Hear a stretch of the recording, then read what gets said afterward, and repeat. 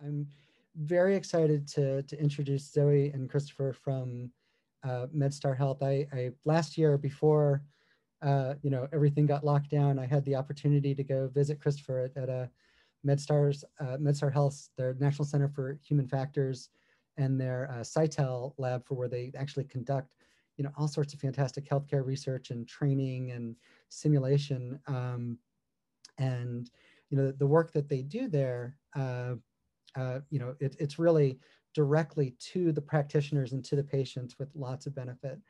Um, so you know with that i you know I, I, think i saw christopher post something about their their their research on twitter and i was thinking well that would be a you know fantastic talk. And then christopher very graciously volunteered to help put it together and, and zoe joined in which uh, uh, you know again I, I can't wait to see this. Um, just as a uh, uh, you know, one final bit, we are going to be recording tonight's presentation, so we'll make that available uh, afterwards. But with that, I'll go ahead and turn it over to uh, Christopher and Zoe for tonight's presentation.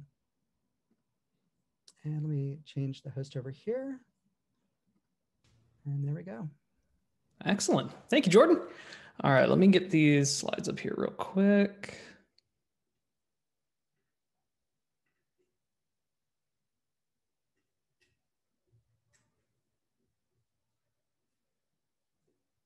Long as I can get out. Hold on a second.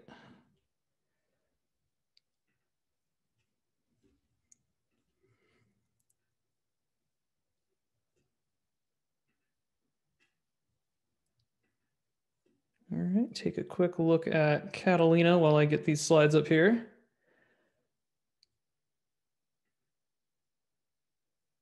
Okay. And are you seeing just the slide? Yep, I can see the slide. All right, excellent. Well, again, uh, Jordan, thank you so much. And uh, thank you, Moro and uh, Mediabarn, for this opportunity to come and, and talk to you guys. Um, this has been a, a, project that Zoe and I have been uh, have conducted during uh, the COVID pandemic. Uh, and we're really, really excited to come in and talk to you about our process tonight. Um, so without further ado, let me go over the agenda real quick. It'll be real quick introduction about us and about MedStar Health. Um, then we're going to go into a little bit about the pandemic, something not a lot of people have heard of recently, right? Then we're going to talk about the project itself, um, the plan, how we assembled our team into conducting the actual in-person testing, uh, lessons that we took away from it, and then uh, a Q&A. And we do have a little extra um, uh, slide for kind of the, the, takeaways that we had from um, our experience uh, conducting user testing in the pandemic. Uh, to, so to start off, a little bit about us, and I'm going to let uh, Zoe go ahead and tell a little bit about her. All right, thanks, Chris. Uh, hello, everyone. My name is Zoe Pruitt, and I am a human factors specialist with the National Center for Human Factors in Healthcare. Um, I have my bachelor's in cognitive science and a master's in human factors and applied cognition, and my work at the center mainly focuses on the usability of medical devices. All right, and my name is Christopher Bonk. Um, I'm a research scientist and clinical human factors specialist um, at MedStar Health. I also have a background uh, in emergency room nursing, uh, which I worked about four and a half years at uh, Baltimore Washington Medical Center in, uh, in the state of Maryland. So coming to, um, there we go. Wait.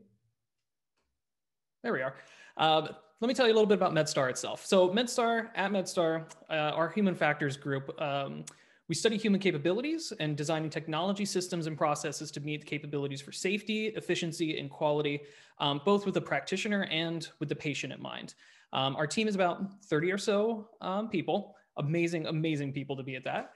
Uh, and we have a, a massive background um, that ranges from experts in human factors and health inequity uh, and health equities, um, aerospace engineering. Uh, we do on our team have a variety of clinicians and practitioners from nursing um, to palliative care to emergency medicine to occupational health. Um, so we do have a, a, wide variety of health experts that are on our team as well. Uh, a lot of our work goes from uh, applied research, where we work with grants and contracts that range from a variety of different government entities, um, we also have usability services where we conduct um, medical device testing, which we're going to talk about tonight. Uh, safety integration, where we have safety consults by hospital. Um, and then we have education and out outreach, uh, where we have close connections with Georgetown University, Catholic University, uh, where we conduct workshops uh, and some of our staff actually teaches classes there as well. Just a quick go over this is kind of some of the federal agencies, foundations, universities, societies, corporations that um, we've had the luxury of working with um, and continue to uh, both on a contract and a, a grant basis. So let's talk about the pandemic. so first of all, this kind of uh, is, is to just give an overview, right? Uh, something that we are all very knowledgeable in. Um, and the, the whole goal of this slide is to basically talk about what influenced our protocol changes, right? Um, so why is COVID a risk specific, specifically to user testing um, and to us at, at the center, right? So, so COVID-19, it's a respiratory virus uh, that is spread through droplets, which are highly contagious if exposed. Um, it's spread through sneezing, coughing, and talking. And mostly a high percentage uh, of the virus is spread through droplets, so close contact, right? Um, though there has been some patterns that have been seen of, of this aerosolization, right? So the pronunciation uh, of vowels in loud speech that uh, some research has recently shown can aerosolize some of the virus, hence mandatory mask wearing, uh, washing hands, and, and, social distancing. And similar to the seasonal flu, it is a little more contagious that we're, we're finding out, right? And so it's continuing to mutate. So this is something that we always need to keep in mind uh, when talking about protocol changes uh, in, the, in the times of a pandemic. And this slide is to give you a little bit of, of information about where we did our testing or what time we did our testing. So this map looks at um, a, the new cases um, that were documented both in DC or both in DC, Maryland, and Virginia. Um, and so you can see from day zero all the way on the left side uh, is where they started counting new cases. And so we had that initial bump and then it kind of evened out a little bit and we had that comfort level. So we decided to go ahead with testing right before the massive spike uh, that, that happened later in the year. Um, and so we did conduct our testing on the 28th and the 29th of, of October in 2020. So as we go forward, just keep in mind that this was before a lot of the, the, the spike in new cases um, where we did start to uh, figure out a little bit more about, about protocols and, and what to look for. So I'm going to hand it over to uh, Zoe to talk about the project. Yeah, so while the pandemic initially stalled our usability testing of the device, our contracts were quickly coming to a close, deadlines were approaching, and things just had to get done. And so with this in mind, we began moving forward with a formative evaluation of the device. Next slide. So the medical device in question is a virtual reality software for the treatment of a medical condition. I know I'm being vague, but for NDA reasons, I can't describe the software's purpose in any more detail. Uh, but essentially, the user would put on a headset and hold controllers while they walked through this virtual treatment program. The goal of our testing was to conduct a formative evaluation of the software with representative users to assess if the device uh, meets FDA criteria. Uh, the nature of the product did introduce some very unique challenges, and any product that we look at um, um, uh, during a pandemic will have its own unique uh, flavor to it that introduces new issues. The big thing for this project was the headset itself. So participants would need to physically wear something on their face, sweat in it, breathe on it um, to complete testing. And to make matters a little bit worse, uh, if you've um, ever used the Oculus Quest, um, the headset is made of this fabric component that makes it really difficult to clean. The virtual reality environment is also um, not great for social distancing. Of course, while you're wearing the headset itself, you can't see the people around you and avoid them. And that was something uh, we also saw as a potential issue uh, where the participant may get too close to the moderator on accident. Um, and so all of these were things that we started thinking about and noodling around in our head um, when we um, knew that we had to use this specific device in our testing. So now that we understand the device and the challenges that it may pose, it's time to actually plan the testing, right? So planning is an essential part of, of any research endeavor, usability testing included. Uh, but this time we're planning more for more than just the testing itself, right? We need to put in safety barriers in place to make ourselves safe as well as the participants.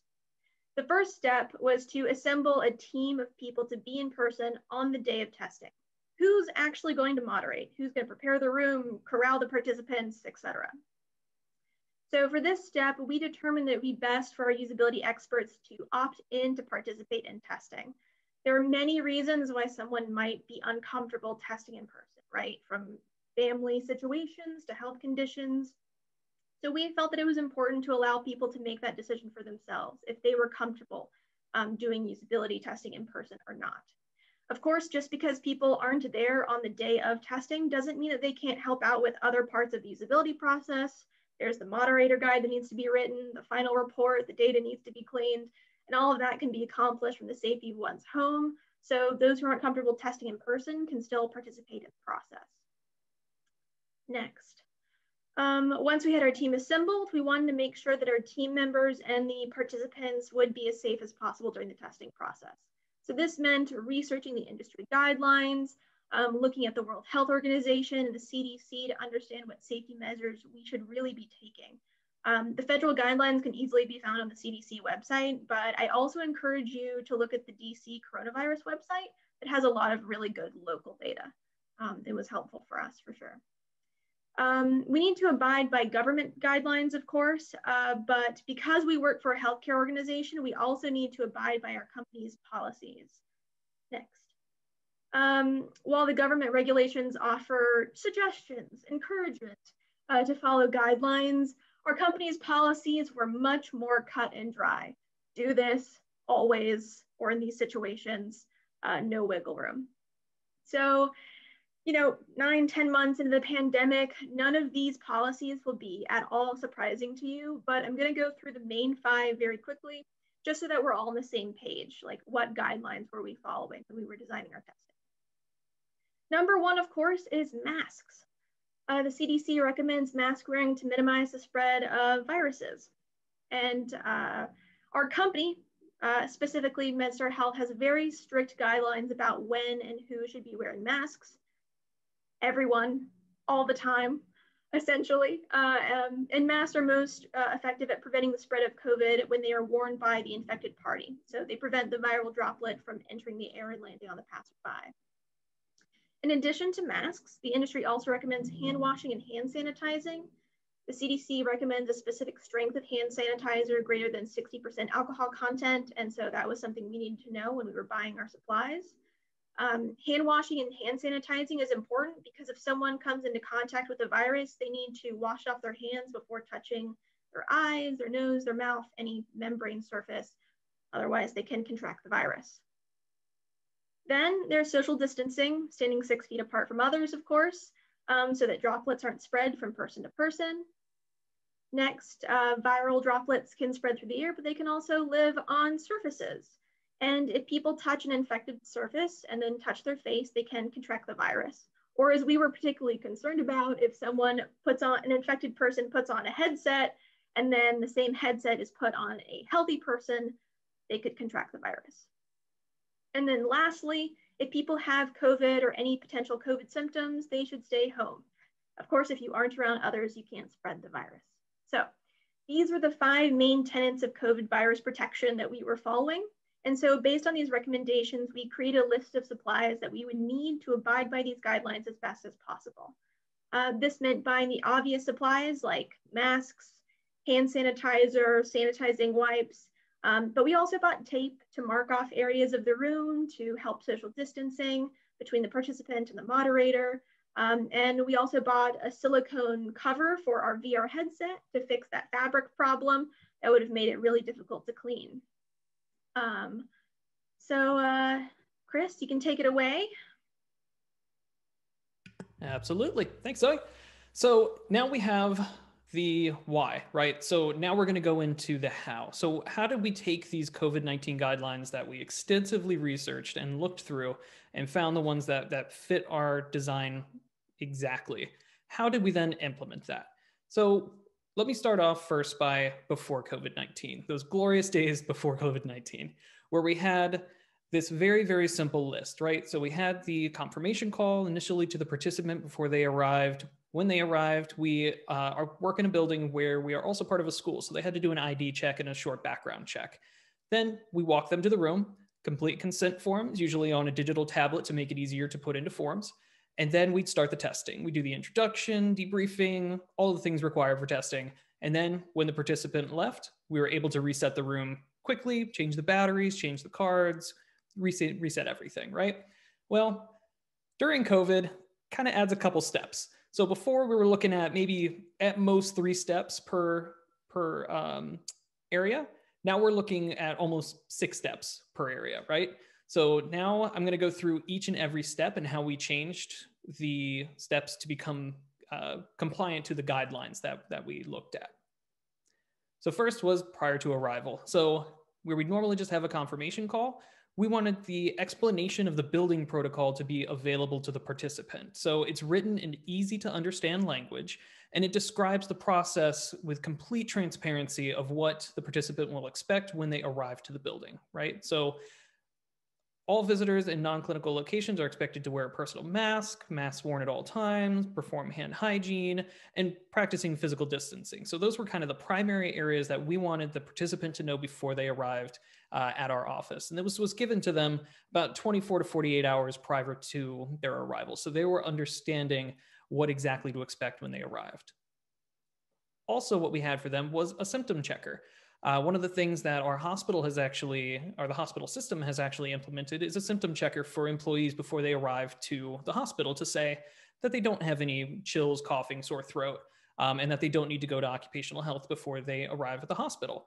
And this is something that we implemented for our participants. So each question here describes a different step. So question one was currently, do you have any symptoms of the respiratory infection? Um, and then it lists some symptoms. And if they did have those symptoms, then they weren't really allowed to participate because those were symptoms of a, a possible COVID 19 infection. If not, they go on to the next question, which is Have you been exposed to someone who was tested positive or, or diagnosed with COVID 19? And evidence was showing that if you were exposed to somebody with COVID 19, because of how highly contagious COVID 19 is, they could possibly contract it, be asymptomatic, but still be contagious, putting our team at risk uh, and other participants at risk. So if they answered yes to that, then they weren't allowed to participate. And then question three is Have you traveled to any of the listed COVID 19 hotspots in the last 14 days? And again, this is before the massive spike. So when there were hotspots from state to state, um, Florida, a couple others that were that were included in those hotspots. And if you traveled to those spots, did you quarantine um, at least 14 days when you arrived back at home? And if you um, did travel to those, those hotspots in the last 14 days, then you weren't allowed to participate. But if not, then you were allowed to participate. And it gave us the ability to, to rule out any possibilities of, of breaking in those protocols. The next, of course, is wearing a mask. Uh, they mandated to wear a mask, but we also implemented something else. It was called uh, the face mask swap. So if you arrived with a cloth mask, which is shown to protect, um, there are some cloth masks that don't really fit properly, right? Or can have uh, be old or, or have some areas for exposure. What we did is we bought a whole bunch of surgical masks that were standardized. And if they did have a cloth mask, we handed them a fresh one um, and asked them to swap. Uh, and then they can swap back to their cloth mask after participating and after they left the building. It gave us as a team uh, the peace of mind that we were protected at all times uh, and that there wasn't, again, a break in protocol if there was a cloth mask that could possibly cause some exposure. Uh, during the escorting from the check-in desk to the testing room, we tried to practice social distancing, distancing as much as possible. We did have an elevator that was a little tight, but we were able to uh, only have two people in the elevator at all times uh, and socially distance between each other. So we were wearing masks and we're distanced about as far as we could from each other uh, in the elevator. That was probably the, the hardest thing to maintain uh, in terms of social distancing. And of course, hand sanitizing. We had hand sanitizer at the um, when they checked in, when they got to the room, when they started testing, after they tested, when they left the room, and before they left the building. So it was hand sanitized pretty much every every step of the way. Nest was filling out forms. So where we, used to have a, a, consent form where they would use a tablet um, to complete the steps, we took the process that a lot of restaurants are now uh, using, which are using paper menus, right? So we decided to do the same thing with paper forms. Uh, it reduced the need to clean the tablet in between every single participant. Um, and it also offered the ability to throw away paper forms that could possibly contaminate. If you have somebody who's working on something and sneezes and, you know, sneezes onto the document, well, you don't really want to touch those documents, right? Um, so it gave us the ability to give them new documents um, in case anything like that happened. Demographic forms were the same exact way. Um, we gave them paper documents that they could then um, fill out, and each participant was actually given their own folder um, to keep those documents in while they were visiting uh, our office. So they would fill out the forms, they would go into their particular folder, and after each participant, uh, at the end of the day, we would go up um, and Zoe would actually scan each individual document. So we had a digital copy of each document just in case they were lost.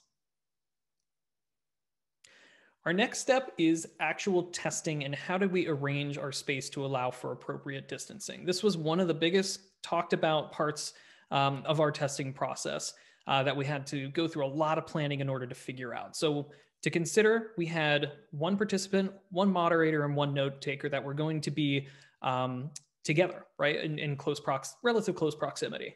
Um, participants, like Zoe said, they can't see each other um, or any other individuals when they have the VR mask on, which makes it difficult to social distance. And then we also had the ability, which was great, to cast the VR headset to a TV in the observation room. So if you see on the right side, we actually have this filled big room on the bottom, and then we have the observation room on the top. And that thick black line in between is one way glass. So after talking about it, we came up with three different methods here for um, the introduction, the actual testing, and then the debrief. So in the introduction, the moderator, Zoe, and the participant would be in the room, but they would be six feet apart. And the note taker would be in the back room. So there would only be two people socially distanced, six feet apart. Um, and they wouldn't really have to worry or, or be too concerned about that. And then prior to coming into the room, uh, each participant, when they arrived early, if we were still working with them, uh, they would be placed into a waiting room that was socially distanced across the hall. Um, after the introduction, we began testing. So the moderator, Zoe, would then come out and into the observation room where um, myself and Zoe would just kind of be there and look through the one way glass at the participant. So the participant had full range of the room. Um, because it was a different ventilation system and the door closed, the participant was actually able to remove their mask when they were testing. So there was no concern for fogging up the glass if they had the mask on. Uh, it was it was based on their comfort level. And then during the debriefing session, Zoe, the moderator, would go back in um, and socially distance again to ask questions and answer questions. During the testing phase, um, in order to communicate with the participant, we actually had we we finagled it because we didn't really have a lot of high tech microphones. Uh, we had a laptop that had a WebEx going. Um, and that way we can communicate one way and to the participant and, and give them instructions. And then we also set up a microphone that could capture the whole room. So the participant could then talk into the microphone, go through the WebEx to us in the back room. So we had audio and we had uh, video of what the participant was saying um, on the TV in the back. It was very important to understand this flow for us. So going step by step was crucial in us understanding um, where the participant would be, where our comfort level would be, um, and how to identify any possible breakages in, in protocols. Then we get to the fun part of resetting the room. So where we used to change the camera batteries, change the cards, now we had to sanitize the whole room of, of any surfaces. So if the participant sat in a chair, we'd have to clean the entire chair, the doorknobs, the tables, um, anything that particles could possibly land on. We did a good wipe down um, with some wipes. And then, of course, sanitizing the device. Uh, as Zoe said, we got that silicone thing that fit on the inside of the mask that was very easy to clean and dried very quickly.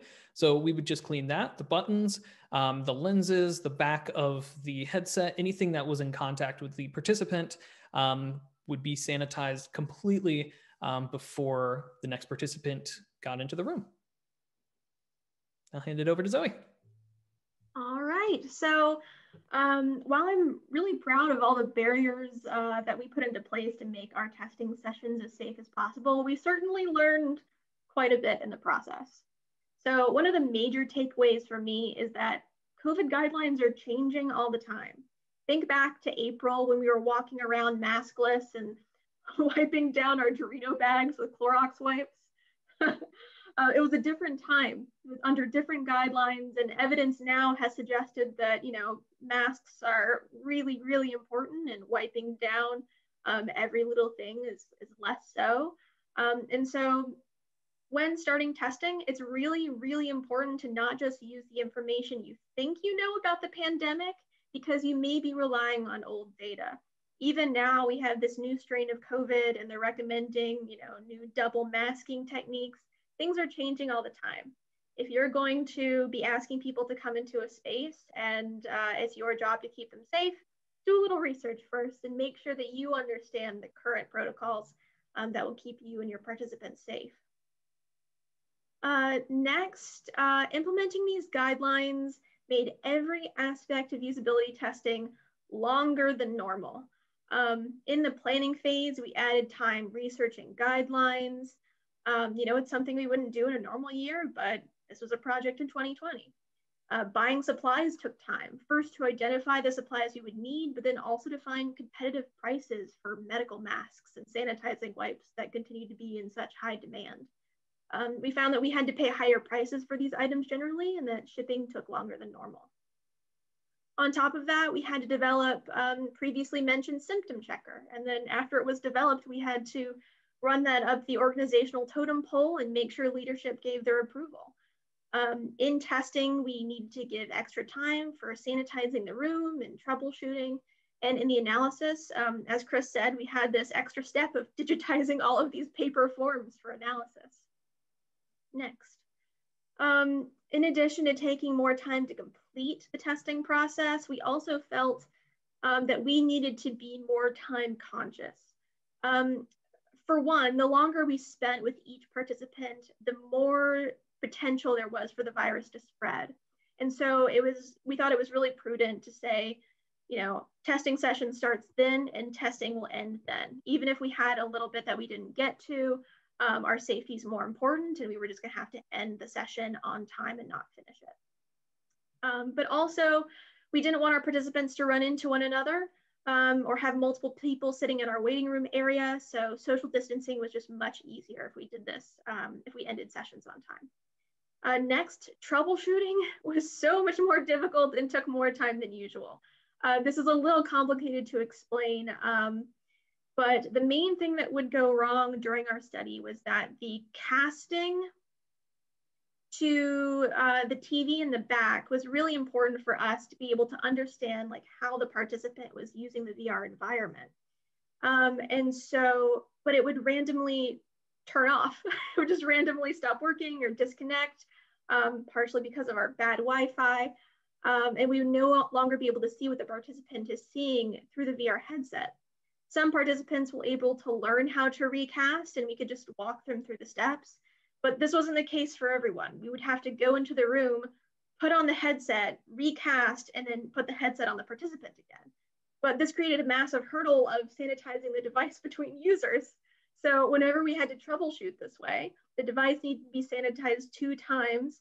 Um, once when the, uh, the moderator would take it from the participant, they had to clean it, then put it on, then clean it again and give it back to the participant.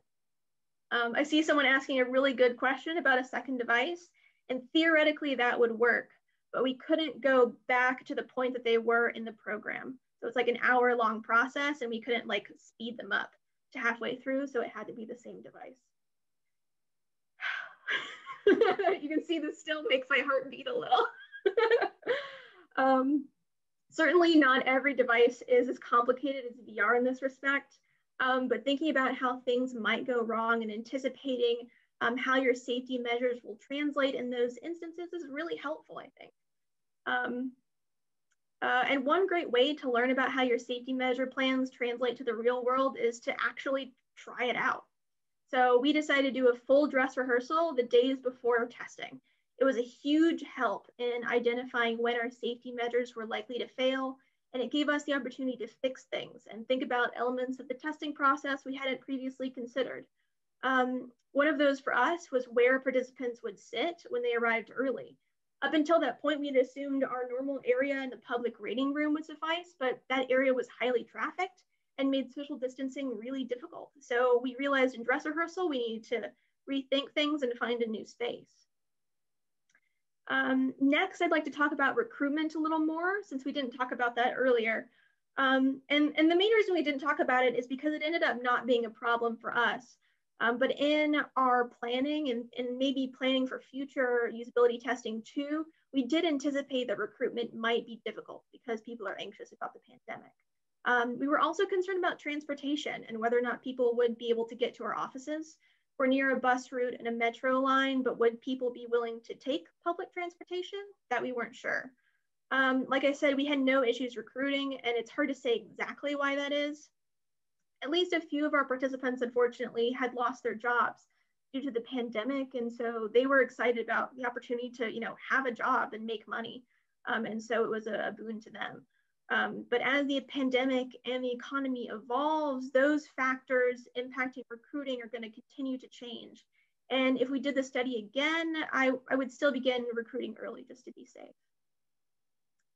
Um, and on the next slide, personally, I did have some doubts about how participants would react to our safety measures. You know, there's been a lot of talk on the news and the internet about you know, when measures are appropriate and what measures go too far. And so I was anticipating some amount of backlash, um, but we didn't get any. Uh, all of our participants were fine with the safety precautions and some expressed that it did make them feel more comfortable. Uh, one participant did want to uh, take an extra measure themselves and they sanitized the mask themselves just to make sure they knew it was done uh, possibly. So generally all of our safety precautions were really well received. Um, of all the guidelines, social distancing was the hardest to abide by. Uh, and this is for a lot of reasons. I think a lot of them had to do with how our building structured. As Chris said, we have this tiny, tiny elevator um, and our space isn't very big either. And really the viewing room is even smaller. So these are limitations we couldn't really control. And what that meant was that our other barriers became a lot more important. Mask wearing, hand washing, um, those became essential for when social distancing failed. Um, it also uh, made me have to rely on my colleagues a lot more. We could social distance with the participants most of the time, um, but between members of the usability team, it was really, really difficult. So we really had to trust each other to, to stay safe and take precautions outside of work and to only show up to work when we were feeling well. Um, and we ended up relying on each other that way. Um, even with social distancing being difficult, personally, I did feel safe throughout the entire process. I felt like we were taking all of the proper precautions we needed to, and that the small size of our research team and the small size of our participant pool, seven participants, um, made the testing sessions very, very safe. Um, I don't know, Chris, do you, do you want to say anything about how you felt? Yeah, no, I was I was very very comfortable. And of course, I mean, with all the news and, and everything that was going on, it was it was a little nerve wracking, right? So having the, all of these precautions in place, first off, made me feel a lot a lot better. But also just the complete transparency and, and planning on the part of the team um, was was huge. Uh, there was never a step of the way that if something were to happen that I wouldn't know what to do. Um, and that was that was great. It was very comforting to know that if something were to happen i would know you know go to the next room or have them wear another mask or or something like that. Um, and then you knew where all of the the items were. So it was it was very very comforting to to know that you had such a supportive team behind you but also that the participant knew exactly what was going to happen that they knew the plan they knew exactly what to do they were told instructions uh, and they were given a heads up that we were taking these precautions um, so I think that was very, very helpful in in making my comfort level kind of skyrocket. So that was that was great. Awesome, thanks, Chris. Um, and the last thing I just want to say is that every additional safety measure helps. You know, I, I wouldn't be a safety specialist if I didn't include the Swiss cheese model in at least one of my slides. Um, but when one of your barriers fails, and inevitably one of them will fail, it's essential that you have other precautions in place to keep your participants and yourself safe while conducting, you know, high quality usability testing. So thank you so much for your time. Um, on the next slide, we have sort of our, our key takeaways from pandemic testing, because we know this was a lot of information, but these are the things that we would think about if we were doing uh, testing in a pandemic again. Um, and it's know your industry guidelines and how to protect against the virus, know your building policy or, or make your own, provide extra time to complete every step of the process, and I mean every step. Um, maintain transparency between your team and um, uh, and your participants, design for safety and redundancy, and know what to do when breaks in protocol happen. Um, that's it for our presentation, and we're really happy to answer any questions. I saw a ton of them uh, fly by when we were presenting. Um,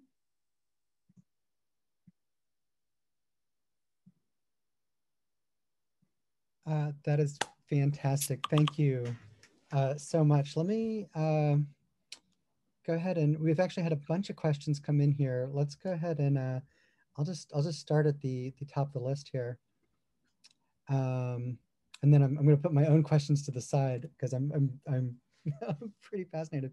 Um, but so first from Sam Bartley uh, is asking, did you use an external recruiter or do you have your own recruiter for finding participants? We used an external recruiter. Yeah. Um, and we relied a lot on them to uh, give us feedback on, on how they expected recruitment to go. And that was really helpful. So when we got in touch with them, they, they did give us information like uh, get ex uh, give yourself extra time, prepare to increase the incentive. Um, we didn't end up needing to do that, um, but those that was helpful to have an outside recruiter tell us those things. That that was our next question. If uh, Amy oh. Reno asks if you've uh, had to increase participant compensation. I'm sure it would have helped, but uh, yeah, apparently we we got lucky with uh, with what we had to to provide them. So um, I think that was really helpful, and the the fact that the recruiter actually contacted each participant 24 hours beforehand to run through those symptom checker questions as well. Um, it kind of added that extra layer of of confirmation that you know these participants were you know truthful in, in what they were saying. Very cool. Um, next up, uh, Lucy asks, are there any protocol changes that you found so effective that you would take them with you post-pandemic? Hmm. That is um, an excellent question. A difficult question, but an excellent question. I think I think one of the main things is we did the full dry run for the first time. And when I say dry run, I don't just mean like going through the moderator guide. I mean like um, we had our colleague Robin stand at the front door and greeted her when she came in, uh, kind of dry run. And that was incredibly helpful for us um, because we were able to to catch things like like the waiting room dilemma um, that we otherwise wouldn't have. Um, and so that's something I definitely hope to do again um, to make our process as streamlined as possible. Cool.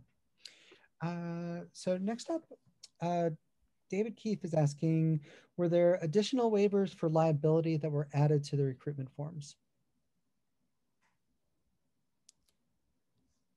I don't think there were. Yeah. I, I only hesitate because uh, uh, there were uh, there was um, the new symptom checker and some other new paperwork, but but no, there I don't think there was any personal liability. Yeah. I think it was early. I think it was early on uh, enough to the point where uh, we weren't too concerned about liability at that point. Um, but the fact that we were were taking all these precautions um, really helped in, in, making them aware of those. Excellent. And uh, I'll just jump back to, to one of my questions. So, so was there any biohazard suits involved in like going into the testing? Because I, I that's the image that I was really hoping for. but no, no biohazard suits. Um, we all wore masks um, and hand sanitized like crazy, but uh, that was about it. Very cool. Uh, Asha, and also I want to thank uh, uh, Asha Singh, who is our, our, also on the board of UXPA DC and, and was the organizer of the DCUX conference um, and is, is, has been moderating and, and checking the questions. Um, she's asked if the pandemic impacted the demographics of the participants. So, you know, for example, did it did it seem like it removed the ability to have any at-risk age groups or you know or or other groups that that you might typically see participate? That's a great question. So I can't say too much about this because of the NDA, but our participant group was an at-risk group for COVID.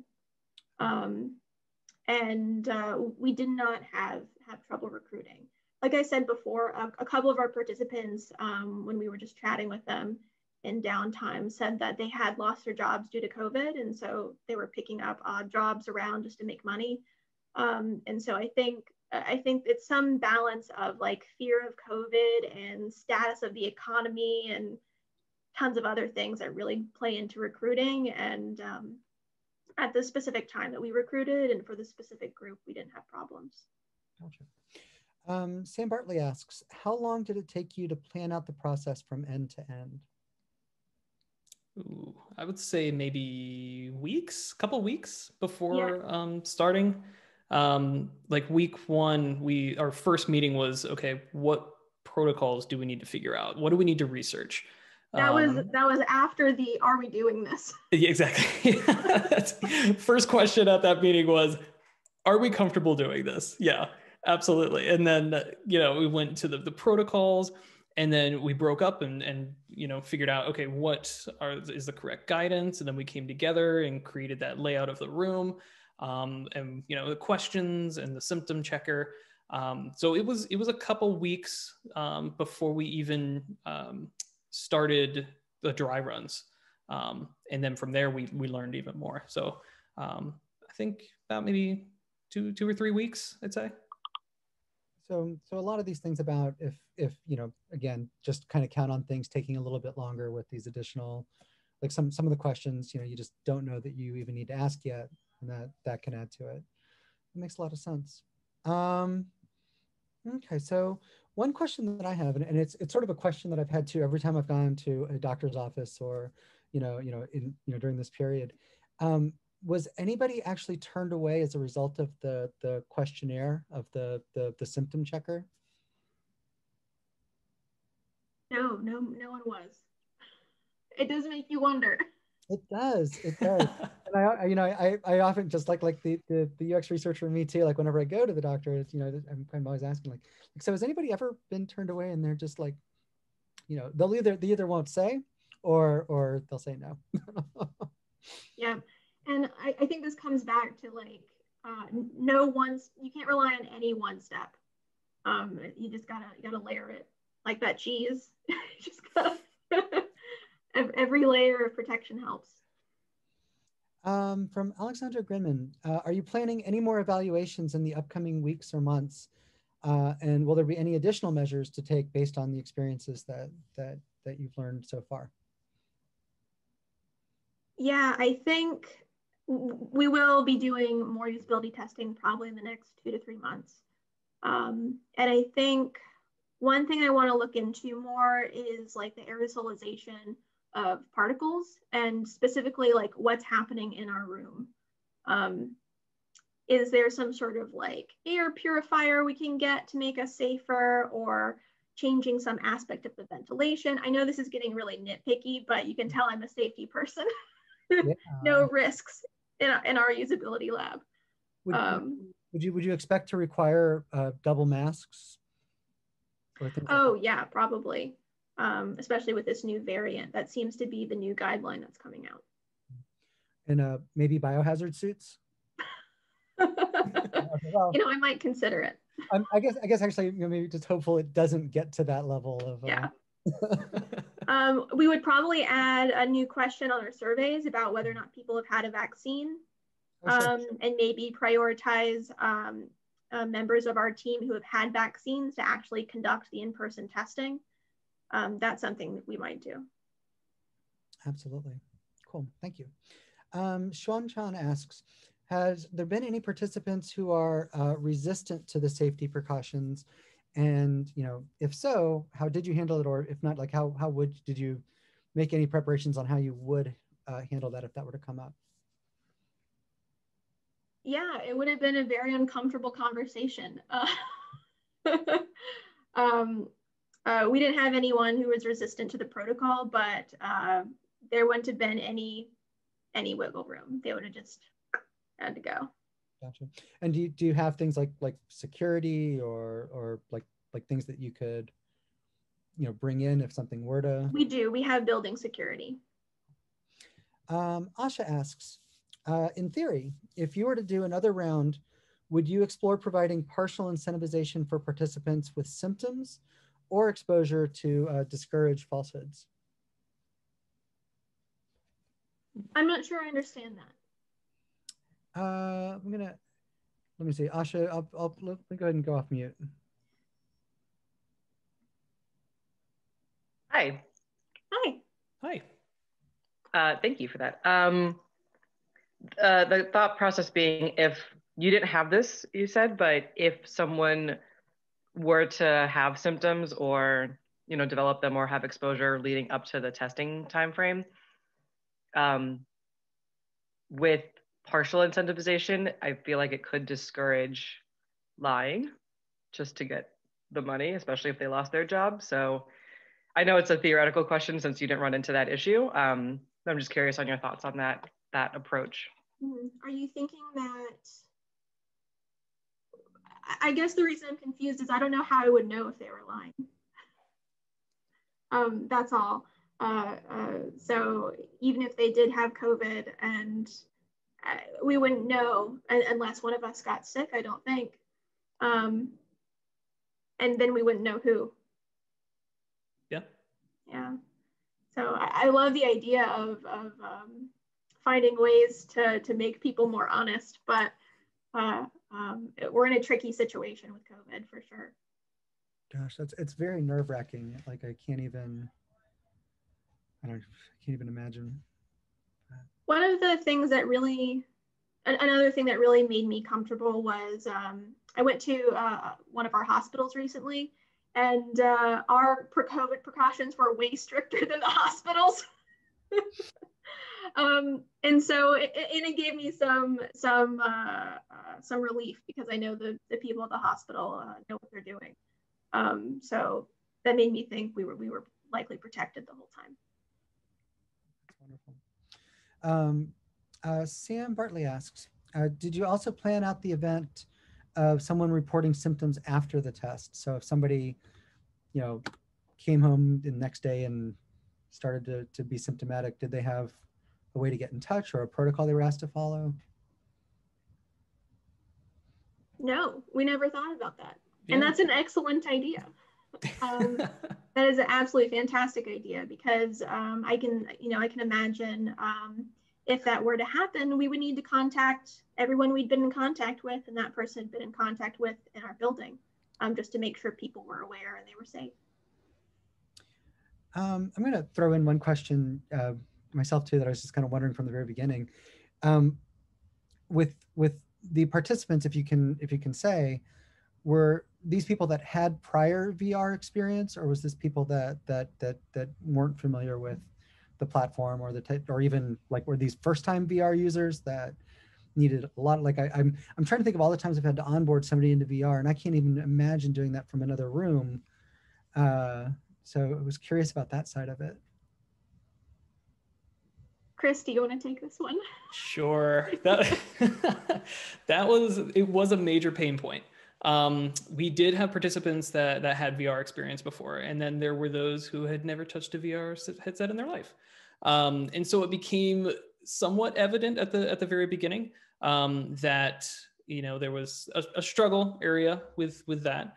Um, I think it was after the first participant um, that didn't have a lot of VR experience. We figured out, okay, we need to set up this headset and basically be the ones to hand them the headset. They put it on and they're immediately in the environment. We basically just need to tell them how to restart the recording. Um, so the less steps that we can take uh, in order to get them to where they need to be to start the testing, the better for us. So that was basically making sure that you're standing in the right spot and you're right in front of that screen where you, all you have to do is lift the remote and, and press record um, and then wiping down that headset entirely and handing it to them so that they can take it from there um, and then the we did have to do a lot of verbal instructions um, from the from the observation room um, where we could see you know they were facing the wrong way or they were too close to something or, or something else um, where we just kind of gave them instructions uh, it also gave us the ability to to test them in that sense of you know was you know, the the app doing its job kind of thing. Um, so those were kind of my experiences with with that kind of onboarding, which is it, it is a struggle. It's a learning process, especially with VR. Yeah, I'm, I'm trying to wrap my head around it, and and I just I think I think in the go no go decision, I would have been kind of like, well, nope. I, may, I may have uh, uh, waited on, that. but, yeah. but I, Oh, sorry, we have the naivety of never having done a, a VR test before, right? Exactly. We're normally doing like um, some weird medical device. Yeah. And we're like, oh, VR, that'll be fine. Yeah, patience is Little did we know. you say was was the platform the Oculus Quest the Mhm. the Yeah. so, so did did the Quest being sort of a standalone device did that make it any easier? Uh, I would say the biggest problem we ran into were the controls. Um, Yep. Yeah, people just didn't know how to use them unless Yeah. they'd had experience before. Um, and uh, if they didn't have experience, they weren't going to figure it out. So not, did. not- oh go ahead. No, we, we had the luxury of, of being able to set up that the whole Guardian system. Um, and it was a blessing that it remembered the Guardian system for, for each device. Um, that really made it uh, a difference when they put that on so that they didn't you know, run into a wall or get bloody knuckles or something. So no, one one of the, the you know the big topics in in sort of the UX of of uh, in, in interaction patterns associated with the Quest, you know, we're we're seeing a lot of really cool stuff happening now with sort of hand tracking. Um, was that is there? Do you think like an opportunity in future research to eliminate the controls issue and and maybe do more with with hand interactions? oh, you're going way beyond me, but that sounds incredible. It sounds so much better because that's two less things that we have to sanitize next time. I mean, I think I think it really well, yeah, absolutely. It, it speaks to sort of the promise of of you know all of these devices, the Hololens, you know, the the the you know hand tracking, all of it is geared towards this idea of a more natural computing experience where they're, you know, you know, you still, you know, there's still benefit to that fine control with the controllers, but but uh, that that seems like it could be really, you know, you know, definitely would be curious to see how that like, if that you know how much easier that could make life uh, in the future. Uh, let's see. Um, so Sam Bartley asks, are we allowed to ask what age group uh, the participants were? So we're allowed to ask, but Yeah, uh, there were uh, uh, no restrictions on age group other than over 18. And so I think our range was 28 to 69. oh, cool. Yeah. Very cool. Um, uh, Min asks, would you differentiate participants who had only had one dose of vaccine versus the full two doses? Ooh, that's a good question. Um, so I mean, they are showing that the the first dose is is getting people up to that you know eighty percent or so protective. Um, I think that's definitely something we can consider in in the future. Um, it, I mean, two is better than one, of course. Um, but when it does come down to that, I think that's something that you'd have to come back to the team to discuss um, and make sure that you know if somebody does only have one shot and you know they're out of that two day period two three day period where it's almost up to full immunity. Um, are you comfortable with that? Then you know you can have a team discussion and make sure that everybody's on the same page before before going forward. But that that is definitely a, a talking point and something interesting um, as we go forward you know learning about this vaccine the the implementation of them and, and how well they work. Very cool. Uh, do we have any other questions? I know we're, we're, we're a little over time, but um, want to see Go going once, go going twice. All right. Well, thank you both so much for, for putting this presentation together for us and, and this insight into some very exciting, you know, UX and, and, and VR. Like I'm, I'm in heaven here. This is like, for me, this is worlds colliding. That makes me so happy. Um, but um, yeah, thank you very much for putting this together and for taking the time to share this with us uh, today. Yeah, Um, thank you so much for inviting us, and thanks to everyone for all of your great questions. You thought of things that had never crossed my mind, and we're going to make some better usability testing for, for it. So. exactly yeah thank you Thank you, Reddy. We'll uh, we'll make the recording of this available on the UXPA DC website. And and yes, uh, thank you again, Mediabarn, for for helping us make this possible. We're really excited about you know you know the coming up the year coming up, the mentorship program, uh, our spring portfolio review is going to be coming back. Uh, you know we're we're you know we're we're, we're going to be all online for the foreseeable future, but you know you know this we, we feel like we're off to a great start here and uh, and looking forward to 2021. So with that, I'll go ahead and say good night, and uh, thanks again, everybody.